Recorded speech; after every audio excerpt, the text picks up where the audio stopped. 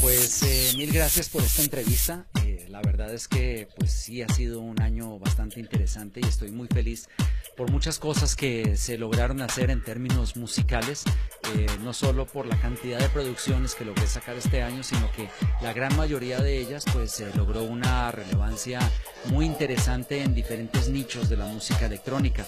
Por ejemplo, este año pues de los releases que lancé tuve 10 dentro de los charts eh, de tiendas tan importantes como Tracksource en la Florida eh, y estuve con charts en el género de soulful, de techno, de tech house, eh, de deep house y de house. Entonces esto de alguna manera pues te da cuenta de que tu sonido está creciendo, que tu sonido está evolucionando, que tu sonido es cada vez mejor y esto pues obviamente repercute de muchas maneras en tu entorno. Primero, pues obviamente hace crecer tu nombre y segundo, hace crecer la escena eh, en la cual te mueves, en este caso la escena mexicana, eh, porque pues en la medida en que haya más eco de lo que hacen los artistas acá, pues eh, más relevancia vamos a cobrar todos, uno mismo y, tanta gente que está trabajando a la par dentro de la música electrónica aquí en México. Bueno, sellos disqueros eh, ha sido toda una travesía. Eh, ya venía yo tocando puertas de diferentes sellos desde hace años y seguramente pues simplemente no era mi momento musical para llegar a esos sellos, pero este año pues se lograron muchas cosas. Ah, por un lado, pues eh, el lograr firmar con Joeski para su sello eh, Aztec Tribalism, pues fue la verdad un gran logro. Lo mismo que lograr acercarme a John Paul Ghetto y firmar con Fog Bank o con la disquera de Steve Mack en, Brighton, Inglaterra, el, el sublabel de Black Rock con Connect, con quienes hace poco de hecho eh, pues estuve charteando en, en los listados de techno pues eh, vaya, son cosas que, enorgullecen, de alguna manera son como nuestras medallas, ¿no? Los atletas corren eh, maratones, medias maratones, eh, traen sus medallas a casa, traen el número con el que corrieron a casa, muy felices. Bueno, pues para nosotros las maratones son los sellos a los que vas logrando colarte con tu música y generando pues mayor eco de lo que estás haciendo. Tal vez la mejor experiencia que he tenido este año hablando de sellos disqueros, pues ha sido la experiencia de mi propio sello disquero.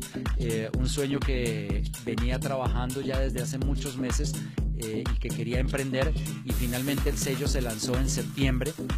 Eh, la casa disquera se llama My Own Beat Records y la verdad pues muy feliz porque logró comenzar de la manera como todos soñamos iniciar un sello con reconocimiento, con grandes artistas y con un gran sonido.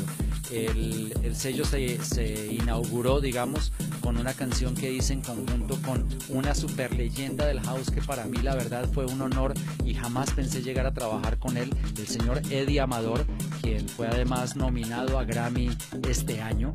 Eh, también tuve la oportunidad de lanzar eh, cosas de Joeski, eh, cosas de Vika, el otro año vienen trabajos de Nino Bua, de Alexander Technique, nuevas cosas que voy a hacer con Eddie Amador. Entonces, eso me tiene muy feliz. El sello salió dentro de los 100 mejores sellos eh, de Tech House este año. Y bueno, por ahí eh, el 90% de las cosas que logré lanzar en estos últimos tres meses con el sello, los tres meses que lleva de vida, pues lograron llegar, sino a hacer featuring releases, llegaron a hacer eh, tracks esenciales dentro de sus géneros y lograron también entrar a los charts. Entonces, pues My Own Beat es como... Eh, ha sido mi experiencia más linda en términos de labels este año. Bueno, pues presentaciones, muchas. Eh, como te imaginarás, pues esta es la vida de nosotros. Si no estamos en el estudio, estamos haciendo trabajo de oficina o estamos llevando nuestra vida personal o estamos tocando. Eh, este año, pues ahorita me vienen a la mente eh, algunas presentaciones relevantes que guardo con con mucho amor en, mi memoria.